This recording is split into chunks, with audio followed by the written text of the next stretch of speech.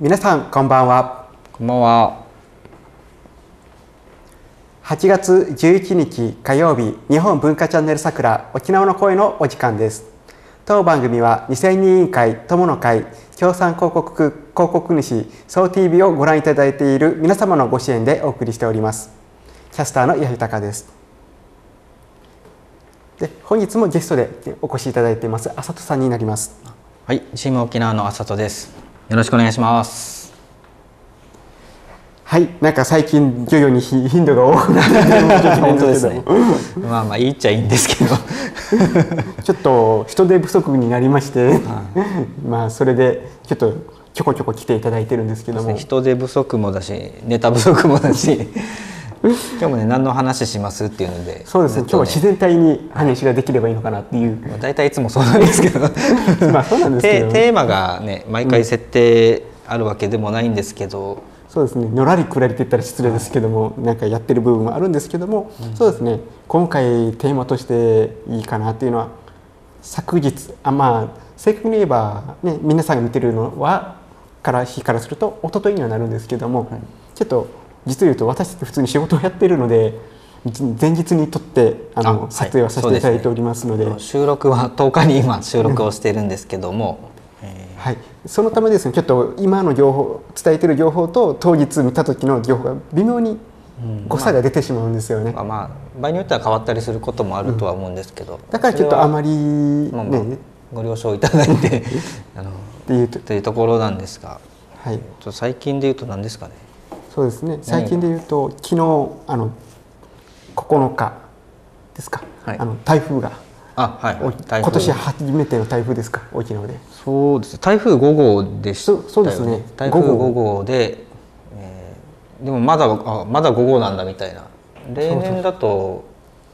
もう十何号って言われますよね。っていう、感じなんです。今年本当に台風来なくて。うん、なんか来るよく来る年は週に1回ぐらいのタイミングで、去年は週1ぐらいのタイミングで来ませんでした、まあ、うん、その年によって違うのは違うんですけど、うん。なかなか来ないなって言って9月10月とかに台風が来てしかも大型が来て、はいっそうですね。ていう7年ぐらい前にに確か9月か、あ10月の末かな？ぐらいに来てから今日大型が来るからみんなうん。出るのやめてよっていう,、はい。いうのがあった覚えがあるんですよ。そうですね。まあなんとなく、まあはっきり調べたわけじゃないですけど台風が少ないなっていう年になると、まあ、後半ぐらいになんか大型のやつがうん。来ますよね、なんかそういうイメージがあって何バランス取ってくれたんねみたいな感じがするんですけど、うん、またあの あの夏場に台風が来ると観光客の方とかが見るとこが行けなくて嫌だって言うかもしれないんですけども実を言うとそのみんなが見たい海って実は台風が来ないと守られないんですよね。あこのサンゴとかっていうのは海水がかき回されたことによってちゃんと、ね、生きれるっていうところもありますので、本当に自然が好きだったら台風も受け入れないといけないっていうのが皮肉なことに あるんですよね。ですね。まああの魚の超過にもなんか関わるみたいな話をちょっとさっきうん。打ち合わせの時にスタッフさんからも聞いたんですけど、うんまあ、そうですね。なんか沖縄の台風もそうですけどえっ、とどこでしたっけ？エジプトのナイル川ははい。とかもそうらしいですね。あの氾濫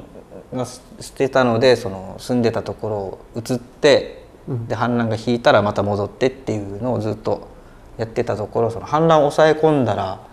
はい。あの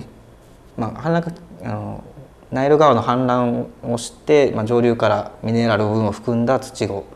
がそこに、まあ、土壌が良くなって作物が取れるようになるっていうところだったのを氾濫を抑え込んだがためにその栄養が足りずに干上がってしまったと。あでもう砂漠だらけになってしまったっていう話があるんですけど、ーなるほど。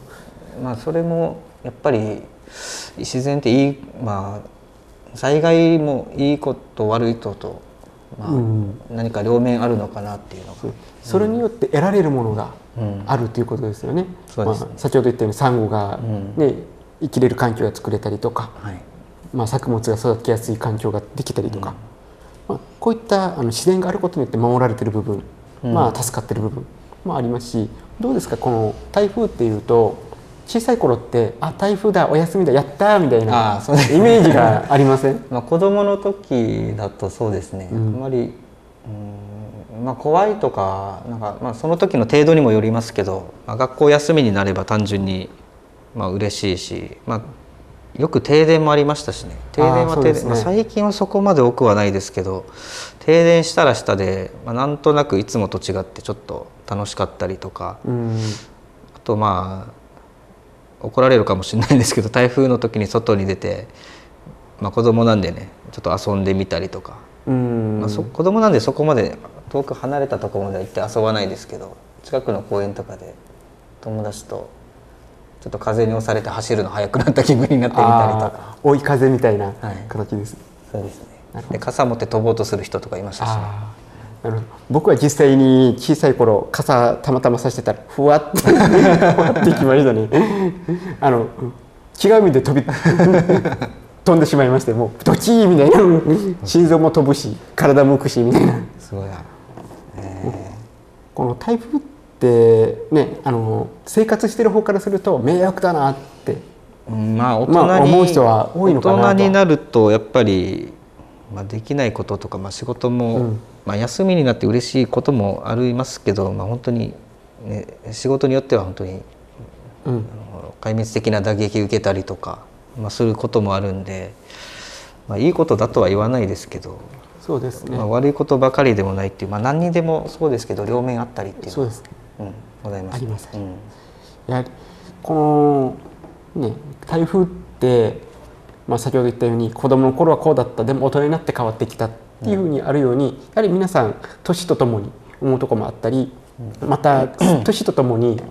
この生活環境も変わってくるじゃないですか。はい。例えば車を運転するようになったら台風があっても車で出かければ問題ねえよみたいな気持ちになってたりとか。そうですね。大学生ぐらいの時はよく台風の日でもちょっとドライブに行ってみたりとか、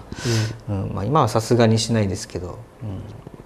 でおまけに人間ってこの普段ない生活になった時って好奇心が抑えられなかったりするじゃないですか。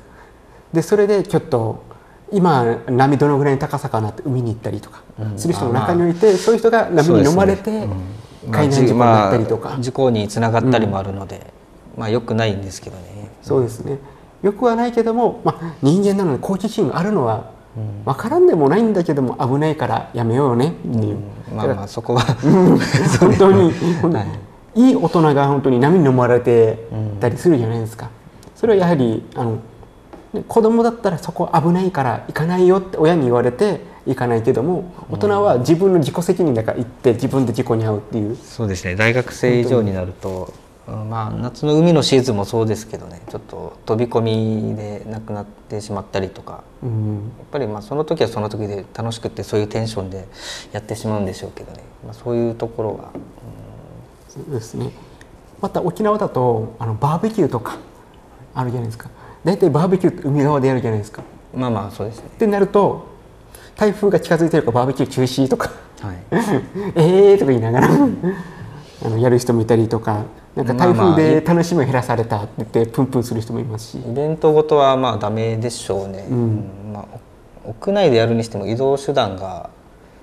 車とかになるとその途中で事故になったりするんで、そうですね。やっぱり中止にせざるを得ないと思うんですけど、台風がですねやっぱりす今年全然来なさすぎて逆に怖いんですよね。そうですね。大型のものがちょっとこの後来るんじゃないかなっていうなんか経験則的にみんな沖縄の人はちょっと思ってると思うんですけど。で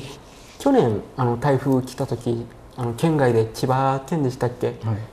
大きな台風で被害に遭われたじゃないですか。で沖縄の場合って台風来てもそんな被害ないじゃんなんで？みたいな感じの人たちもいるじゃないですか、そこは理由として沖縄は台風がよく来るからあのコンクリート屋で、うん。あの台風対策を取られてる家だったりするんですね。で県外の場合は地震が多いから地震に耐えられる家にしてるとか、構造がちょっと違うかったりもするじゃないですか、その辺をちょっと踏まえないでえーみたいな人もいらっしゃるのでその辺はちょっとよくよく聞いてみたら調べてみたらっていうところもあるので、興味がある人はそういうところも見てもらえたらいいのかなと思いますね。まあまあ地域性っていうのもやっぱりあるので沖縄同じ沖縄でも僕らの子供の頃と今と住宅事情というかちょっと変わったところも結構あってあそうですね。台風じゃないですけど子供の頃ってよく断水ありませんでした？ありました。あの時はダムも少なかったっていうのもありますよね。だからあの僕が子供の頃の家ってこの三角の屋根の家って少なかった覚えがあって、あはい、平べったい屋根にこう断水の時に使う用のお水をためるタンクが乗っかっている、はい、僕子供の頃住んでた家もそういう家だったかな確かそういう家だったので、うん、その時に観光に来た人からはそれがよく不思議がられてたみたいですね、うん、今はあんまり見えな見なくなりましたけど、まあ、今でもちらほらあるのはあるとは思うんですけどね。昔ほどはないはずです。そうですね。新しい家とかになってくると、うん、そうですね。やはりあの断水がよく起こってて、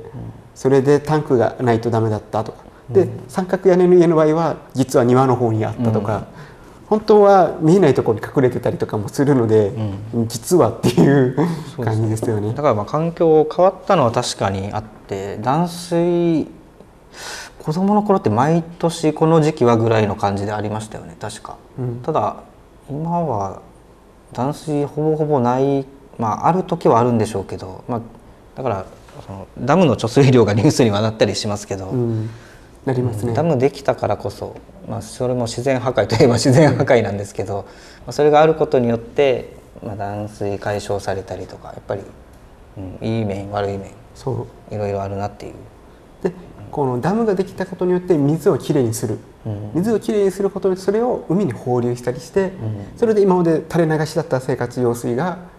ね、うん、あのきれいになったことによって海がちょっとずつ良くなるところも、まあ、循環がまあ良くなるところもあるじゃないですか。そういうにこの実は人間って水がとても大切だからこそ取り入れる。でもその水をないがしろにしていた面もあればそれを守ろうと思って動いたら結果的に自然を壊さないと守れる環境が作れないとか、いろいろさまざまあってでこの流れてた海この海ですよ。この海をみんなが守ろうっていう人もいればいやいやこれはねっていう人たちも、まあ、地域によって開発とかに使ったりとかいろいろあるのかなとか。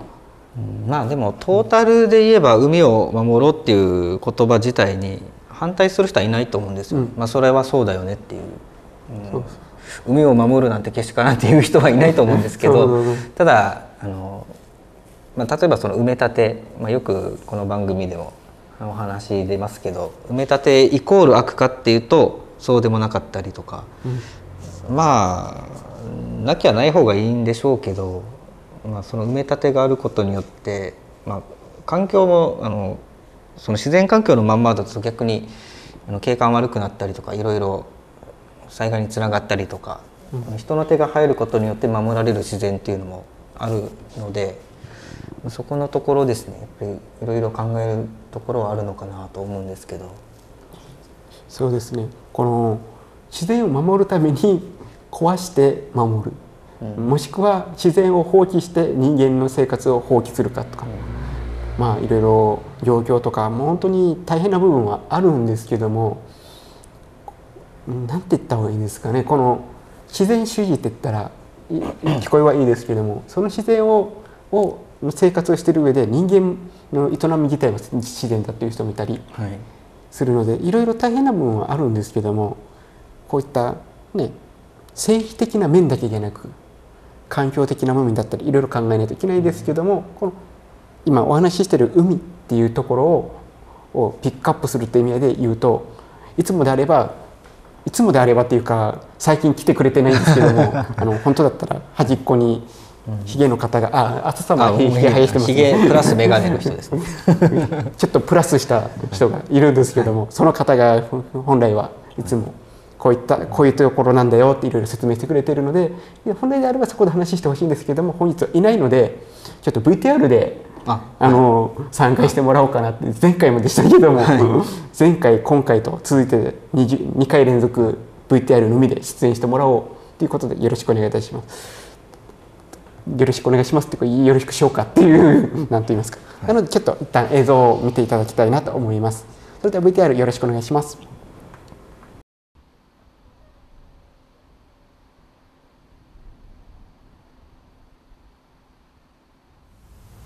釣りオツ。これって釣りでしょ？のコーナーがやってまいりました。どうも坂本です。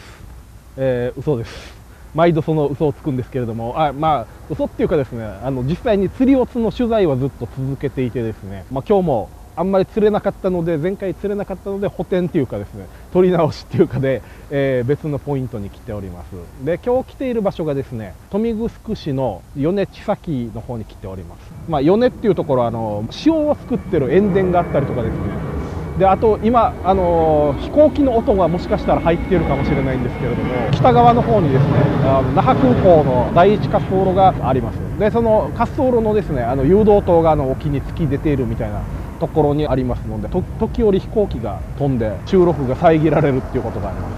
まあ沖縄のあ一つの問題としてですね辺野古の問題であるとその自然環境が壊さ壊されると海を埋め立てることによってっていうのがあるんですけれども私が今立ってる場所も実は埋め立て地であるっていう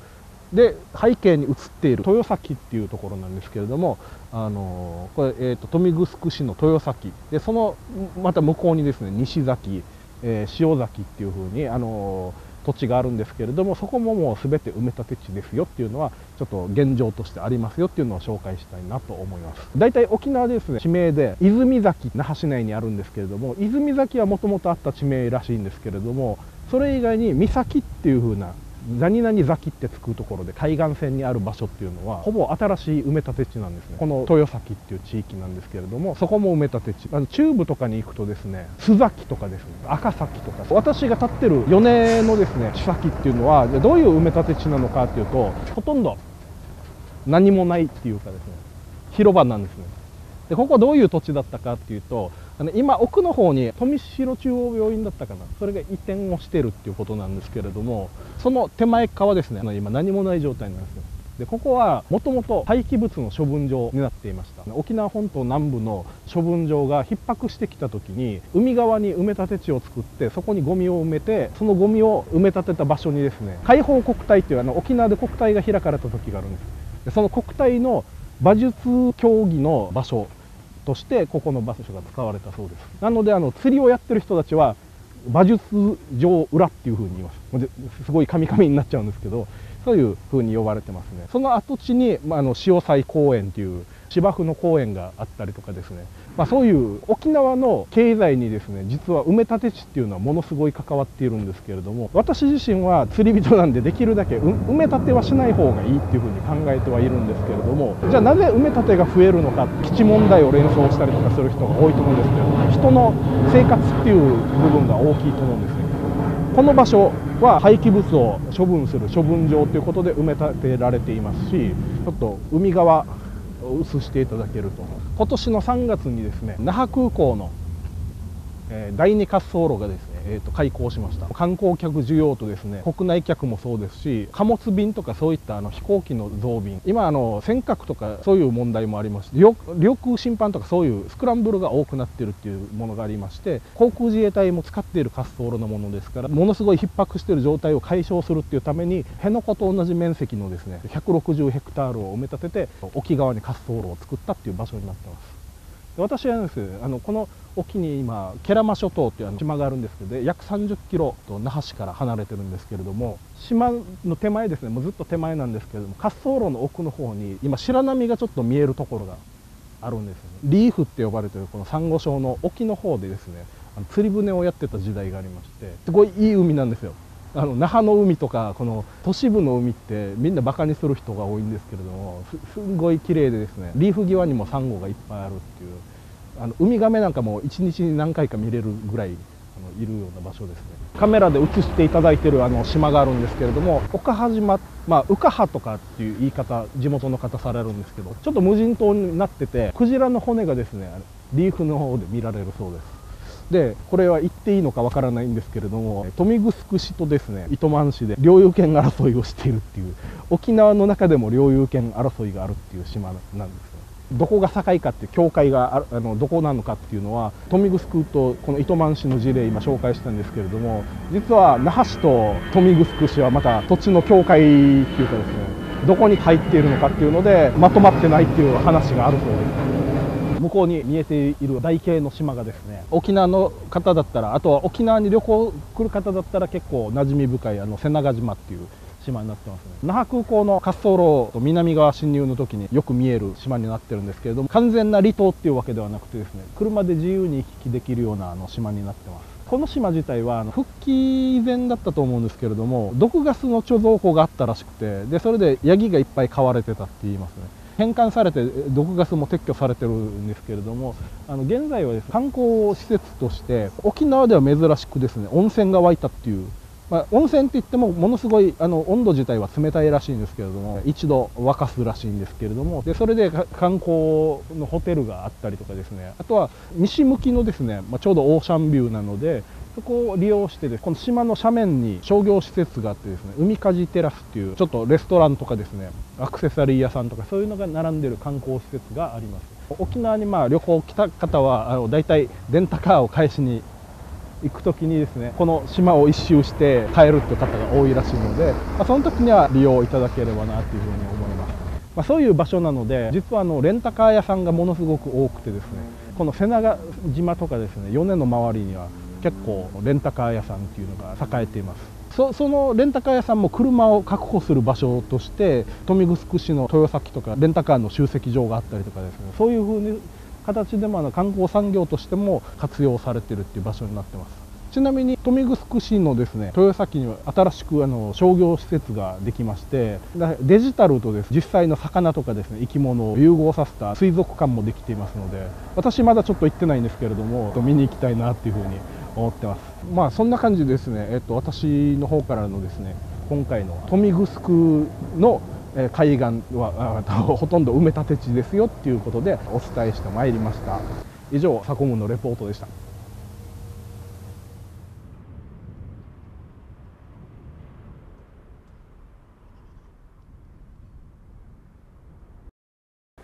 はい。どうでしたかね？皆さんあのサコムさんの映像を見ていただいたんですけども、はい、やちょっとたまに飛行機の音が聞こえるところだったので、うん、あれ？とちょっと途切れたりっていうか、はい、ちょっとあったんですけどもでもこれは普段の環境、うん、実際の。ところっていうのを見てもらえたのかなと思います、ね、あとやっぱりあれですねあの説明うまいですね。埋め立てについてはやっぱり。そう、うん、僕らがぐたぐたぐたぐた埋め立てのこと言うよりは。まあ分かりやすいので 最初にそれ見せた方が良かったかもしれないんですけど。ちょっと、はい、ちょっとそこまでの話す順番間違えたかな ちょっと雑な振りで坂本さん申し訳ないです。すいませんでした。なんかなんか坂本さんがいない時に雑な扱いをしているこの二人、はい、申し訳ないんですけど、まあでも、うん、やっぱり分かりやすいなと思って、うん、だから埋め立てっていうとやっぱりなんとなく悪い印象。まあ、佐久間さんも、まあ、言ってましたけどもともと釣り人だし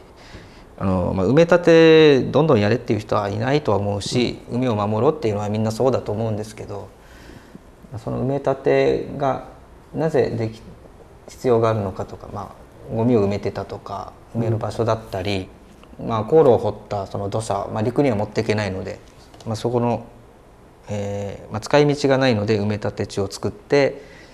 でそこに、まあ、さっきの豊崎なり西崎なり、えー、商業施設であったりとかその住宅スペースができたりとか、うんまあ、我々、まあ、沖縄県民の生活向上の役に立っていたりとか、まあ、いろいろあるので埋め立てイコール悪でもないしただ環境を守るっていうのは確かに必要ではあるので、まあ、そこのバランスをどうとっていくかっていう、まあ、ことになると思うんですけど。うん、そうですね。この自然だから守らないといけない。でも、その自然によって人間の営みが壊される部分もあったりもするのでちょっとさじ加減は難しいですけども、うん、まあでもね、はっきり言うとその例えば自分の家を新築で建てます。でその土地を切り開きます。もう自然破壊といえば自然破壊なんですけど。そうですね。その状態を破壊してますからね、うん、ただ、うん、まあそれは人が生活する以上まあ、何か、まあ、自然に干渉したりするっていうことはどうしても生まれるわけなんですけど、まあ、だからそれを何も考えずにあの無制限にやっていいっていう話でもなくて、まあ、守れる環境とか、まあ、環境へのその与える影響を減らすとか、まあ、一時期そうなっても、まあ、再生していって循環していくような、まあ、工事の仕方だったり環境の守り方だったりっていうのは、まあ、やっていく必要はあると思うんですよね。だからこの間も話したちょっと保守っていう話にもつながりますけどやっぱり産業を守るのもそうだしで、まあ、沖縄県民日本国民の生活を守るのも大事なことなので、まあ、そこのバランスの話になってくるのかなっていうふうには思うんですけどね。そうですねまたこのであの映像であの見てもらったんですけどここですあっちですって指はさしてくれたんですけども一応このですね地図関係っていうのをちゃんと、うん、あのお伝えした方がいいのかなと思ってそうですね。映像だけだとちょっとイメージがつかみづらいかもしれないので、うん、ちょっとこ画面切り替えてもらっていいですか、はい。で先ほどですね佐久間さんがいらっしゃったところがこのこの角っこの方だとのことです、で空港ですよって言ったのこの辺を瀬長島とかこの辺を見えるような形で撮影したそうです。で反対の豊崎だよって言ったのはここからですからこの辺ですね位置的に。をそうですね、まあ、完全なる埋め立て地ですね。そうですね。形見て分かるように、カクカクカクって、ちょっとこのビーチの方はなんかくねっとしてるけど実はここも埋め立て、でここの豊崎も埋め立てでここもそうですね、うん、がっつり、うん、これが自然ですって言ったらすごいですけどもね、うん、っていうぐらいこんな埋め立てられています。でまたこのまあ地域によるんですけども実は豊見城とこの那覇空港つまり那覇市との境目の問題でちょっと問題になっているところもあるらしいんですよ、こことか。またここ。ここは糸満市があるんですけどもこの糸満市とこの豊崎のこの境目で豊見城の。でここでも問題もあってとかいろいろあるらしいんですね。地元でもこの小さな揉め事といいますか。領有領有権争いが。領有権争いがあるらしいのでなんかその辺はちょっと あの佐久間さんが詳しいと思いますので明日ちょっと参加していただける予定ですので、うん、その時にちょっとお伝えしてもらえたらなと思ってます。ちょっとその話面白そうなので まあ楽しみにしていただいて。そうですね、うん、まあ、地図見て分かる通りなんですけど、まあ、今のところだけでもそうなんですけど沖縄って本当に埋め立てが多い場所で。そうですそうです、はい、ばっかりっちゃばっかりなんですよね。今こう、まあ、引いていくんですけどもこここが那覇空港じゃないですか。こうちょっと若干引いても分かるじゃないですか。そうですねでこの辺もカクカクって角張ってたり、うん、そうですね。で浦添の軍港移設のところも、自然の海岸線残ってるところがあるんですけど、まあ、そこも埋め立ての関わりがあって、まあ、なるべく守るようにっていうふうにちょっとな、えーまあ、その検討中というか。ちょっとパルコシティさんがここですので、うん、この本当にこの目の前ですね。はいこの辺を埋め立ててあの那覇軍港移設を行っていくっていう意見に予定です、うん、もうこここの辺もカクカクしていますしもう本当に沖縄って埋め立てないと開発ができないっていう。そうですね。さっきちらっとなんか調べたところですね、はい、えっ、ー、とどこだっけな。あそう戦後、えー、37年間で埋め立てられたえー、姿を消した自然海岸が東京ドーム約500個分らしいです。500個。500個分。相当埋め立てしてきてますね、うん、なるほど。でも今500個ってびっくりしたんですけども沖縄の人からすると東京ドームのこの大きさが、ね、東京ドームのイメージが わからない。がつかないんです。セルラースタジアムで行った方が早いかもしれないんですけど。わかんないですよ。セルラードーム自体僕も行って行ったことないですから僕。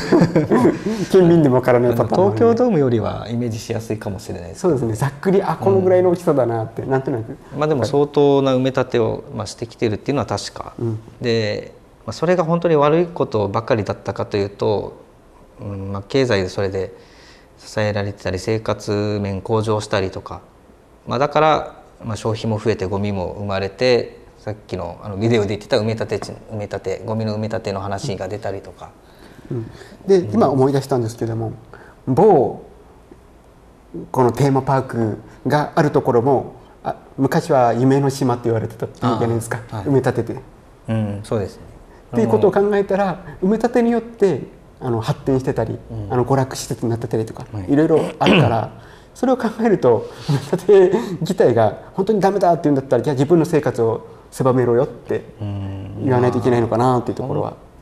もう本当に今の生活レベルを捨ててっていうふうに戻れるのかっていうと、まあ無理だとは思うんですよね。あの一部の人はそういう生活が好きでやれる人はやれるんでしょうけどじゃあ日本国民全員でそういうふうにいけるかっていうとできないのでただまあ日本のその、まあ、技術力であったりとかまあいろいろ、うんやっぱりあるので自然を守りながら必要な開発であったりとか、生活向上っていうのを進めていってっていうふうになれば一番いいのかなと、まあ、自然を守るためのその方法だったりとか新しい方法とかもひとしたら生まれてくるかもしれないですし、うん、そうです。そこは期待したいですけどね、まあ、ただ自然保護が必要ないとか開発が必要ないとかあんまり両極端になっといけないかなっていう。うん。で先ほどちょっと軽く地図で見せたんですけどもキュラーサンビーチはい。はあの真っ白な砂うん。だったと思うんですよ。でも埋め立ててるっていうことを考えた時にあの真っ白な砂うん。は人工の砂なんだよっていうことになっちゃうんですよね。そうですね。まあ多分、まあそういうもんだとは思いますけど。あのよくみんながうん。沖縄の白い砂浜って言ってるイメージは、青い空に青い海、白い砂浜、まあ、まあ沖縄も観光イメージでそれ打ち出してるんで、そういうイメージ持つのはしょうがないんですけど。でもあの白い砂ってサンゴの死骸だと言われてたりもするじゃないですか、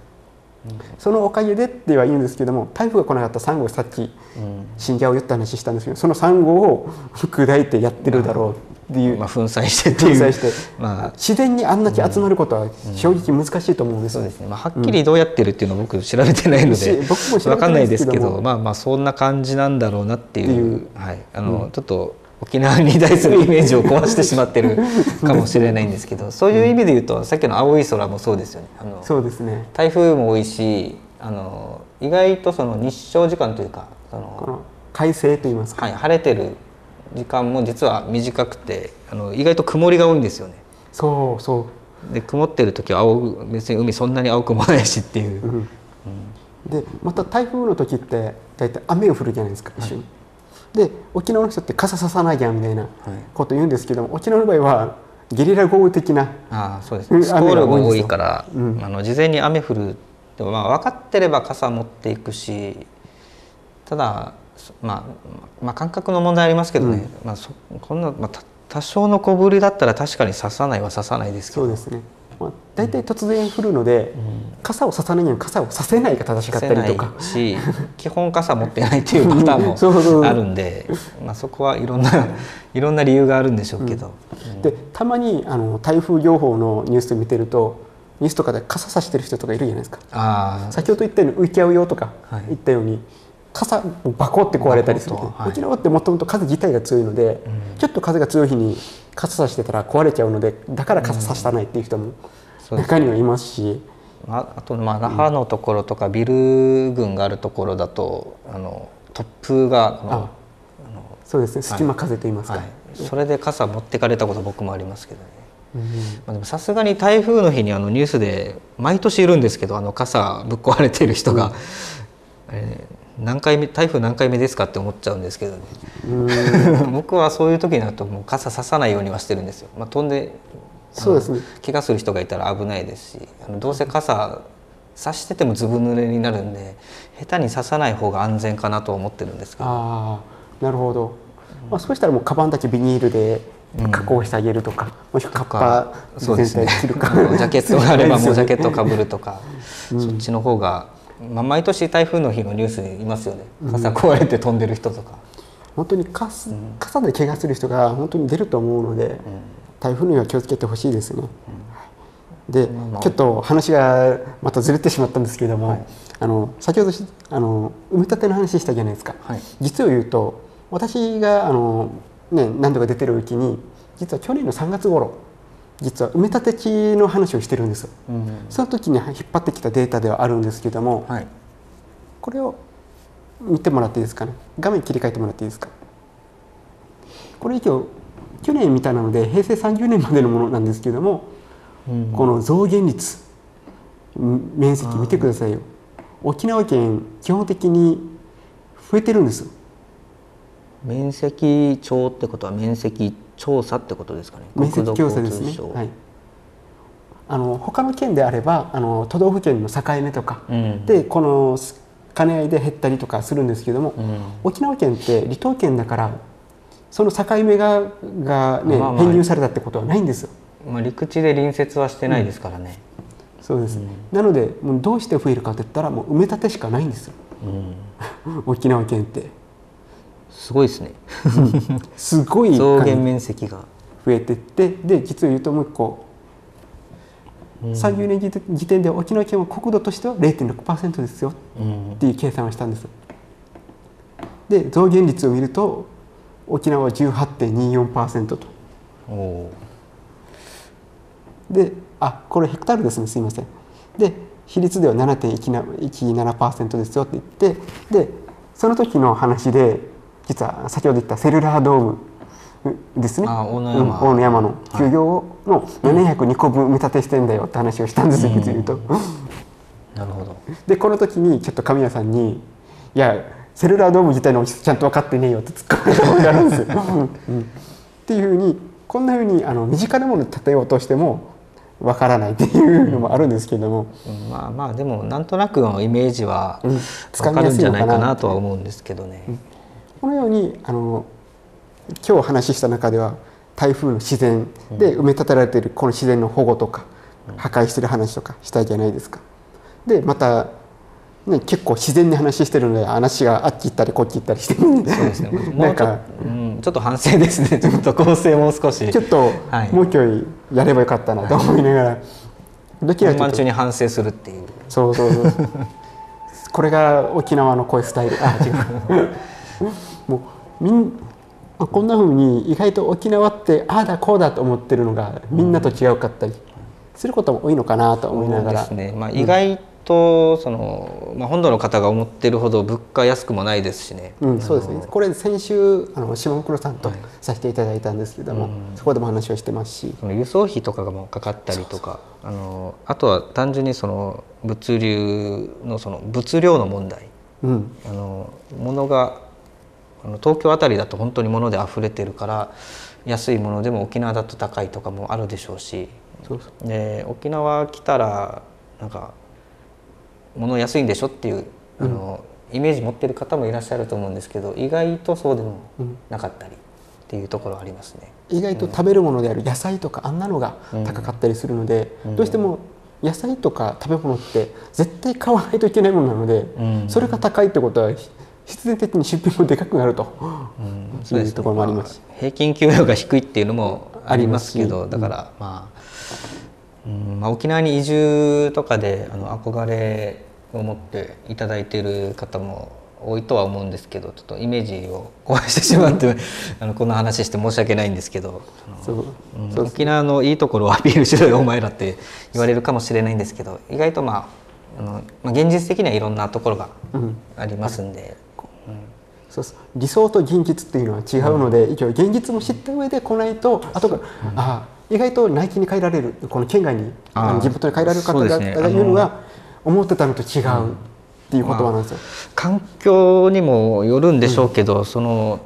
人の住んだ地域とか、うん。うんまあ、すごく気に入って沖縄にまあずっとまあずっとついて長年いるっていう方もいれば沖縄に移住したけど、まあ、まあいろいろ文化の問題とかあの、ご近所付き合いの問題とか、まあ、田舎に行くと難しい部分もあったりして。うんまあ、あの帰っちゃったりとか、うん。まあ、いろんな話ありますよね。いい話も悪い話もやっぱりあるので、そうですね、この今言ったように幻想が崩れてこの出ていく方がいるので、やはりあのまず前もって知っていくことによって移住もしやすくなるかなっていうのもありますし、に、うん、まあ本当のところはどうなのかなっていうのうん。をちょっと確認してから、まあ、あとまあ知り合いがいればいいんでしょうけど知り合いなくっていう方はまあやっぱり一種家系じゃないですか。そのそうですよね。移り住んだとこが、あのどういう地域なのかとか、まあ、本人と合う合わないというのもあるでしょうし、うん。ちょっとそこは一回ちゃんと冷静に考えてからうん。やっていただいた方がいいかと思います。僕は沖縄好きだし、いいところだとは思ってますけど、うん必ずしもみんなにとってそうかっていうと合わない人は合わないと思います。まあどこに行ってもそれはそうだと思うんですけどね、うん。そこは事前にしておいていただいた方がいいかとは思います。す。そうですね。やはりあの今日はどちらかというとテーマ的に言うと自然な話ではい。あのい生かしてもらったんですけどもでも自然にやりすぎるとこんなふうに失敗することもあるので ちょっとある程度手は加えた方がいいよっていう話には、はい。いうことを言われそうですけどもで今日はですねそろそろお時間あでもあるんですよ、は意外と時間が過ぎるのが早いなと思いながら、はい。どうですか？あのあの浅田さんあのちょこちょこ来ていただいて話はさせていただいてますけどもまあ